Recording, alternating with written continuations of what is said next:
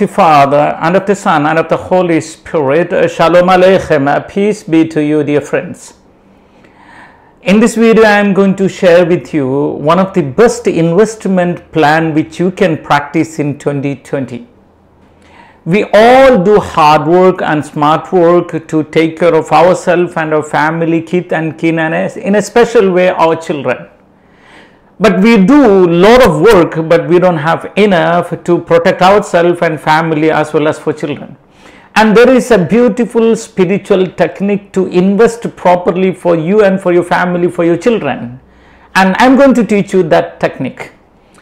Now when i was very small there was a function in my family called my sunnat. You know what's my sunnat? It is my circumcision.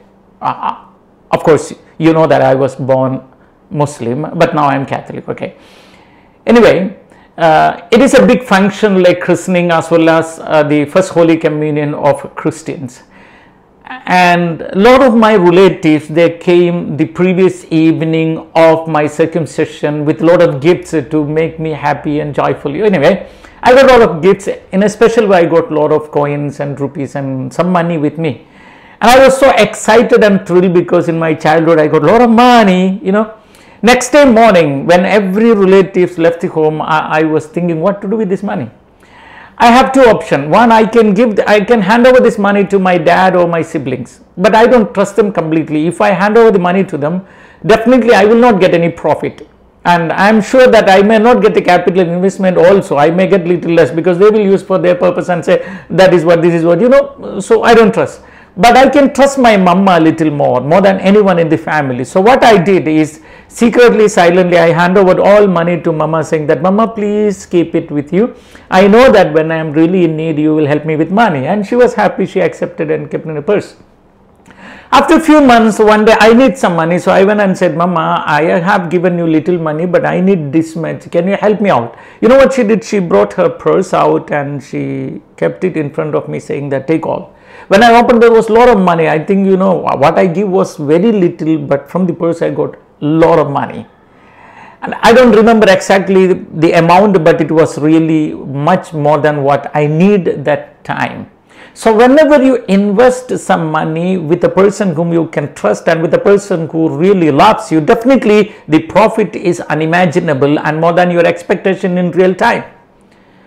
So, you must know whom to trust and to whom you must invest. Let me tell you, on earth as well as in heaven, we have only God to trust with all our heart. So the investment should be in God. In 2020, take a decision, my brothers and sisters, invest in God.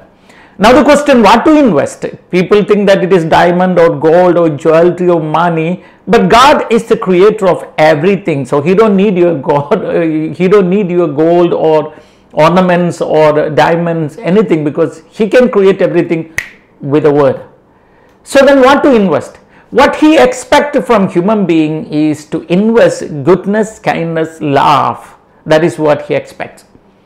If I invest goodness, definitely I will get the benefit of that goodness. Not only me, my generation also. That can be one, two, three, four, seven, or countless. Generation also will benefit now the question how to invest this goodness something very very important. I will give you an example. This morning now you are driving. And on the way you saw someone park the car in a wrong side. And suddenly you get angry and you honk. And then you may say some bad word also. There you are investing something negative. Suppose if you saw the situation and when you get angry suddenly you say you tell yourself have self control and this is a time where you need patience. So you are inviting the goodness of patience and then after a few minutes you go out and speak to that person kindly, lovingly, make him to understand. So again you are investing the goodness called love, kindness, joy and peace. And after doing all these good things, you know what you have to say? You must say, Lord, I invest this goodness of today in your account. And not only one goodness, you can do many goodness every day. Even your work is an investment for you. Now, for example, you're working in a company, uh, but if you're working in a company only to earn salary for you and for your family, there is no goodness in it. but you're working in a company but you you are thinking the goodness of the boss and the company and if you really with that intention if you work wherever you are you are inviting goodness and that work itself is goodness for you so you're working 8 hours 8 hours goodness you are collecting but the intention should be the boss for whom you are working he and his family and his society all should be good so you will do sincere work without robbing a minute from your work that's how you can invest goodness wherever you are and however you are. Every second you can do some goodness. So today you take a decision that today maybe 30, 40, 50, 100 goodness I will collect and invest in the Lord. And what's the benefit, you know, when you are really in need of or when you are really facing a trouble, you can pray, God have mercy on me. Then your angel, guardian angel will go to heaven and search your account, your bank account. There are a lot of goodness angel will bring that goodness to you with the interest. Now suppose you were not in trouble but your children they are drunkards or smokers or very bad you know they, they, they live a wise life uh, you know with a lot of vices in their life but one day when they were really in trouble they will pray lord have mercy on us if they pray like that you know what happens their guardian angels will go to heaven and search their account and it is empty because they did not invest any good things. Then the angels will go to Godhead and say, God, so and so is praying and I searched his account, it's empty, what to do? Then God will say, he belongs to that so and so, which means his father is so and so, his mother is so and so. Go and check their account. You know, if you did lot of goodness, when the angel comes and search your account, there will be load of bank balance. Then the angel will say, Lord, that boy prayed, but no investment in his account, but his father was very holy, his mother was very holy, lot of goodness. What can I do?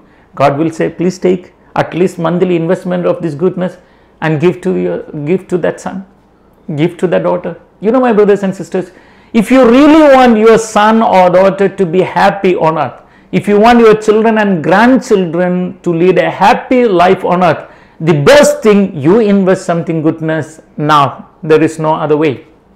And you know, children gets immorality not by reading the Quran or Gita or any other Purana, Itihasa, any other religious scriptures.